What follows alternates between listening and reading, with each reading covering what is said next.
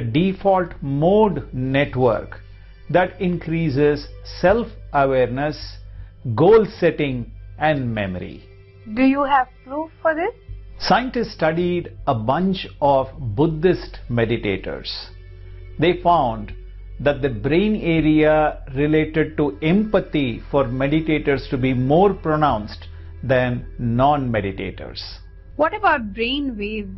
EEG tests done on meditators prove that the meditator's brain increases their alpha level of frequency of the brain waves that spread peace, positivity and happiness.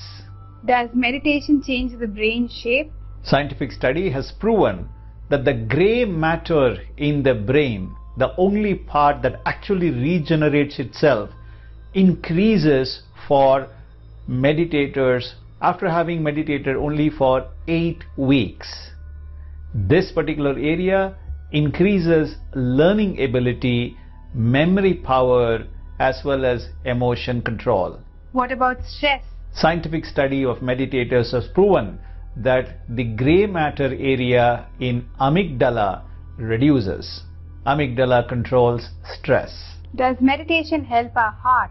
Meditation has proven to regulate the variability of the heart rate, which improves the oxygen carrying capacity of the blood. Any proof that meditation helps in immunity? Meditators injected virus to two groups of people. The meditators produced more antibodies and thereby increase in immunity function in their body than the non-meditators. How about cellular changes? Chromosome has protective protein complexes called telomere which actually gives the cell its longevity. Any imbalance in telomere can lead to heart diseases, diabetes and even cancer.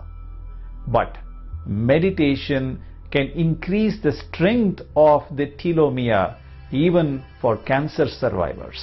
Do you mean to say that meditation can cure our body without medicine? Proper medical treatment is necessary for curing the body. However, meditation can accelerate the curing process of the body and also significantly help in preventing diseases in the body. Thank you. Be blessed. Be blessed by the divine.